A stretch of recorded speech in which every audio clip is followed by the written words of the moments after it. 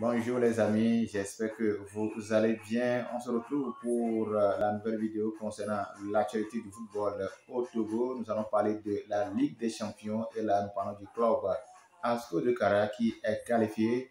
Le club togolais trois fois champion du Togo qui va représenter le Togo dans cette campagne de la Champions League cette année se retrouve dans le dur puisque selon l'article 27 de la constitution de la CAF, les clubs qui devaient euh, participer à cette compétition doivent disposer d'une équipe euh, féminine. C'est l'interrogation qu'on se pose de l'autre côté d'Asco, puisque alors nous parlons, Asco n'a pas encore un club féminin ou une équipe féminine, pourquoi quand même remplir les conditions, notamment l'article 27.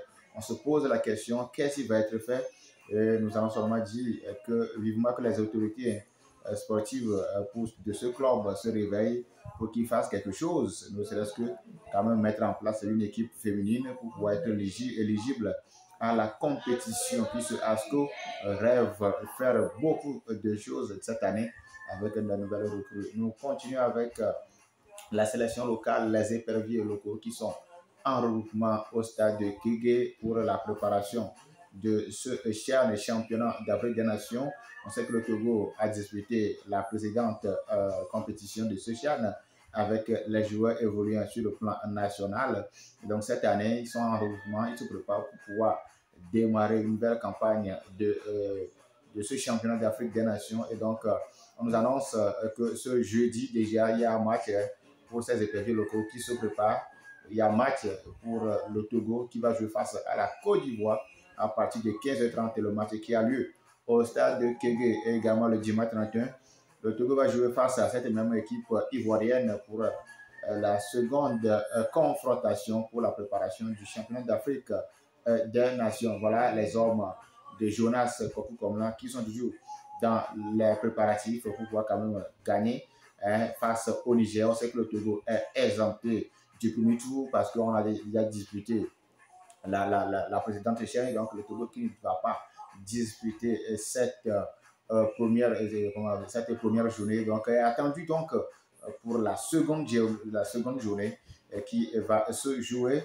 donc, le Togo a rendez-vous avec le Niger. Donc, pour arriver, une préparation s'annonce très, très, très importante. Les amis, on file tout droit en Europe pour parler des informations sportives. Et également, il faut rappeler que hier, le Real de Madrid a disputé son second match amical face au club américain. À l'arrivée, c'est deux buts partout entre le Real, de, Madrid et le club américain. Il faut, il faut signaler que le Real Madrid, dès la première partie, était complètement inexistant. Le Real qui ne se retrouvait pas du tout. Mais grâce à ce bijou fait par euh, euh, le futur ballon d'or, hein, tout le monde sait le futur ballon d'or Karim Benzema, et avec le premier but d'ailleurs de, de Dennis Hazard sur penalty, et donc le Real qui revient à gagner deux buts partout. Même score également sanctionnant le match FC Barcelone face à la Juventus. Donc, euh, le Barça aussi qui fait un match nul hein, face à la Juventus, deux buts partout. Savez que ça fait pratiquement le quatrième match, hein, puisque le Barça a démarré très tôt ses préparatifs. Ça fait quatrième match amical pour euh, euh, le Barça. Donc, je pense que la préparation s'annonce très bien. Il faut aussi le dire que le Real Madrid va jouer face à cette équipe de la Juventus le dimanche prochain pour boucler la boucle des préparatifs on sait que le, Real Madrid va jouer euh, la Super Coupe, hein, la Super euh, d'Europe face à Francfort en, août prochain. Donc, euh, Carlo Ancelotti a dit en conférence de presse que l'équipe, l'équipe qui va démarrer avec la Juventus, c'est cette même équipe qui va disputer donc la Super Coupe face au Francfort. Rappelons que Francfort avait, avait éliminé le FC Barcelone dans la compétition de la Champions League. Donc, ce n'est pas une petite équipe à, minimiser. Donc, c'est une équipe qu'il faut prendre avec du sérieux. Et ça, je pense que ça promet beaucoup d'intercepts dans l'air. Nous serons toujours au rendez-vous, puisque la nouvelle saison démarre en Espagne le 12 août prochain. Et donc, la Super Coupe, c'est le 10. Et donc, je pense que nous aurons quand même euh, des, beaux spectacles cette année avec des, des, repris un peu, un peu par là. Donc, finissons avec cette information qui concerne euh, Cristiano Ronaldo. Cristiano Ronaldo il semblerait, selon les informations euh, que nous avons au niveau, qu'il semblerait qu'il va rester au niveau de Manchester United, puisque les dirigeants euh, ne veulent pas le laisser partir.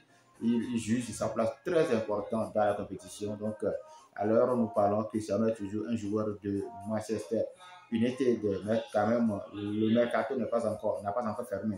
Et ça porte, on espère bien que Cristiano Ronaldo reviendra fort hein, avec euh, de nouvelles prouesses. Ainsi se ferme euh, cette vidéo d'aujourd'hui. J'espère que vous avez aimé.